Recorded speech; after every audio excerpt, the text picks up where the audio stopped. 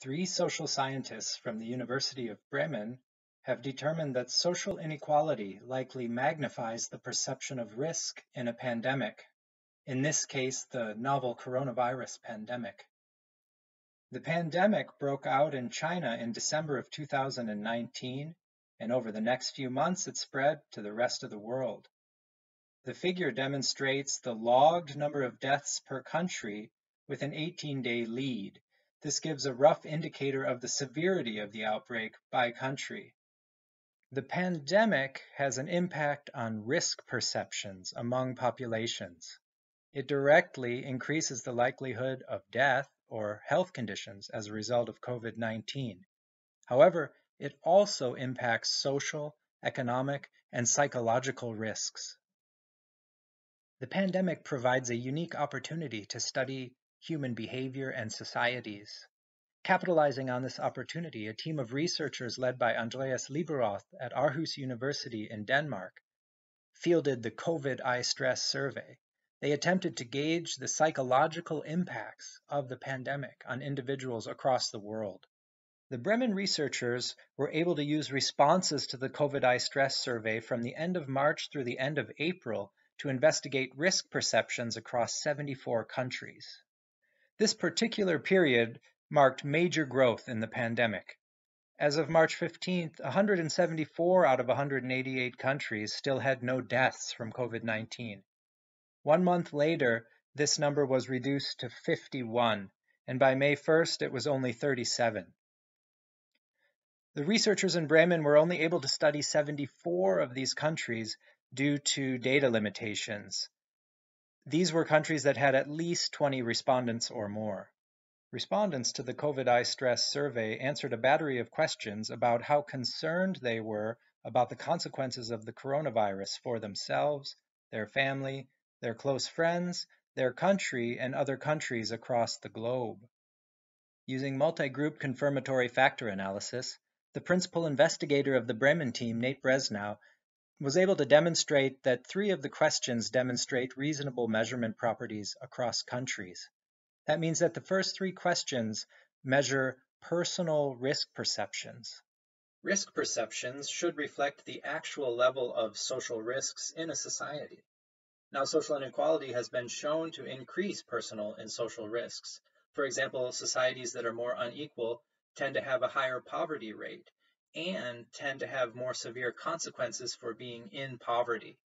Social inequality has also been shown to have a negative impact on public health increase crime, reduce social trust and social solidarity, and in some cases shown to decrease social mobility.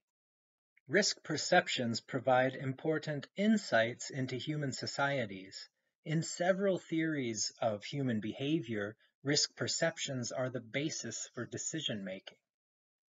Risk perceptions can also have an impact on mental health, and they reflect modern theories of society which suggest that the social hierarchy is determined by the level of risk that individuals are exposed to. Under conditions of heightened risk perceptions, individuals may engage in unhealthy behaviors or even socially detrimental behaviors such as avoidance or unnecessary risk seeking. This is how the Bremen team came to their research question whether inequality increases risk perceptions in a pandemic. The pandemic heightens risk perceptions for everybody on average, but it also highlights many issues facing societies, many of which are related to social inequality.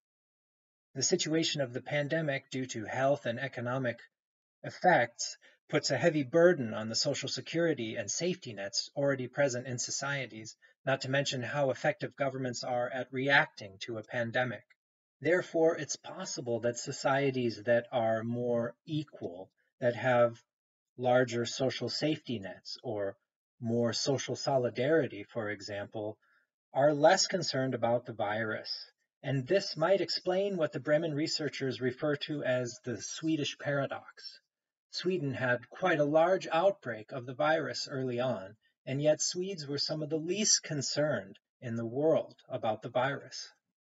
In order to investigate if risk perceptions are a function of social inequality, The Bremen team started with a simple theoretical model where the severity of the outbreak locally causes risk perceptions.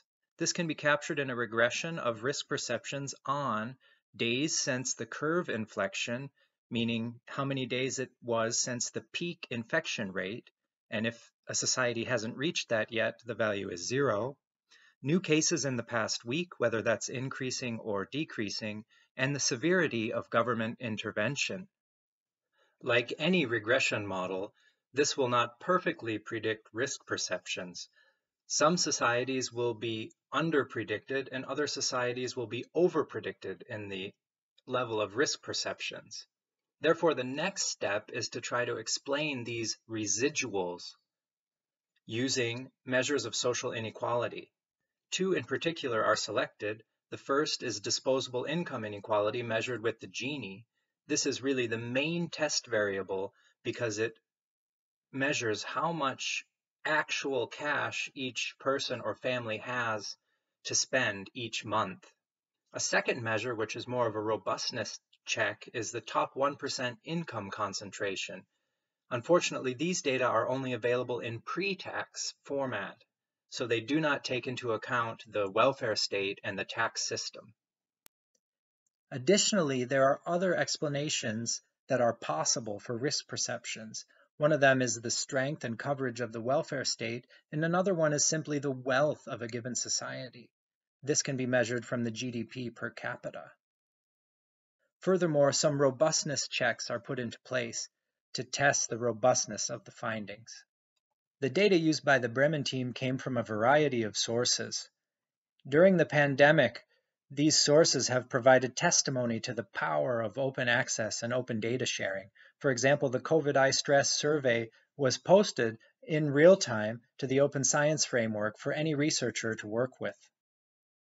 The main results are presented in five regression models. M1 is simply the severity of the outbreak locally. Again, this model includes days since the peak of the curve, since the curve inflection, or as people like to say, since we flattened the curve. The number of new cases in the past week, whether it's increasing or decreasing, and the severity of the intervention by the government. This model explains about 20% of the variance in risk perceptions across these 74 countries. And then in Model 2, M2, disposable income inequality is introduced into the equation. This has a positive significant effect. It's predicted to increase risk perceptions, and it nearly doubles the adjusted R squared.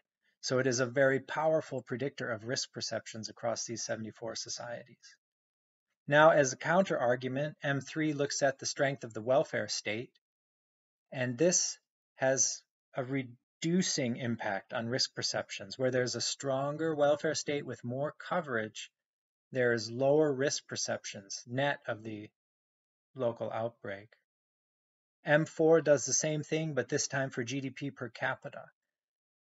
The coefficient is not significant, but it points in the directions of lower risk perceptions. Finally, in M5, all three variables are put together to test counterfactually which one has more explanatory power, and disposable income inequality is the only one significant out of all three. Now this model should be taken carefully because it has six variables in a regression with only 74 cases. Looking at the model statistics, we can see that the AIC is lowest by far in M2, and the same is true for the log likelihood. This indicates that M2, if selected from these five models, would be the model of choice. Just to provide context for the effect of disposable income inequality, as a standardized effect, this has a size of about 0.5. In a follow-up analysis, the research team put together a regression only on the residuals predicted from Model 1. This gives the maximum explanatory power to the severity of the outbreak, what causally should be the most important factor in risk perceptions. This is a conservative estimate of the effect of income inequality. Nonetheless, in this regression model, income inequality maintains a large significant positive effect, and again, it explains 20% of the variance, this time in the regression residuals.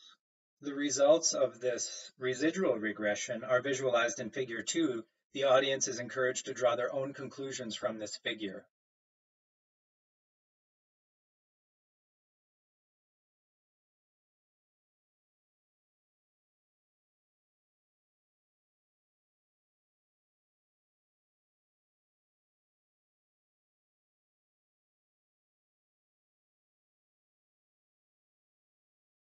To put it simply, some societies appear to be over-concerned relative to the severity of the outbreak locally, whereas other societies are under-concerned and some are somewhere in the middle. Social inequality appears to explain a lot of the discrepancy between these societies. In this study, countries that had less than 20 cases were dropped from the analysis. Nonetheless, there are still several countries that have less than 50 cases and many with less than 100. For these low case number countries, uncertainty is higher. Statistically speaking, the standard error is larger. To check that uncertainty, or let's say random luck, isn't the reason that there's a significant effect found in the main regressions, the Bremen team simulated 2,000 data sets using the standard error and random normal distribution. What happened was in all 2000 analyses, the effect was positive and it was significant at p less than 0.015 in all 2000 reanalyses. And in 99.5% of the cases, the p-values were below 0.005. The average effect, or the mean coefficient from all 2000, indicated by the red dotted line, was slightly lower than the one observed in the main model, indicated by the blue dotted line, but the difference is negligible and again, all effects are positive in direction, indicating that this is a robust finding.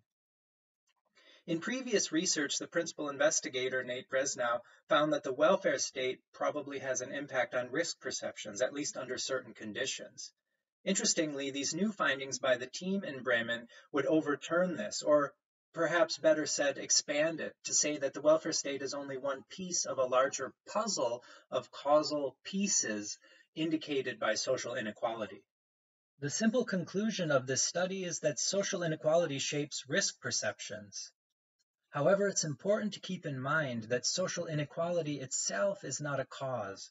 Social inequality is an indicator of myriad causes. For example, the degree of social security in a society, the level of trust and solidarity. It relates to class and group conflict. It indicates general risk increases among the population.